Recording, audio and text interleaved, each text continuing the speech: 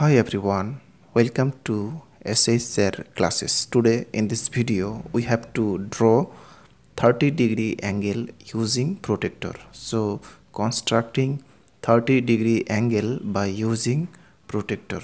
So let's start the video. First of all drawing a line of any length here. So first drawing a line. Next using the protractor. So pointing this point here. Now putting the protractor perfectly on the line. And now counting this is 0 10 20 and this is 30 so this is 30 degree angle. Okay. Now joining this side to get the 30 degree angle. So joining this side okay.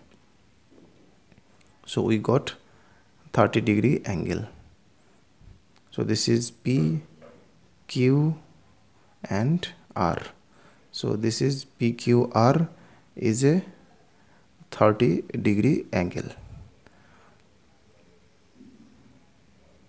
So therefore angle PQR is a 30 degree angle. So angle PQR equal to 30 degree.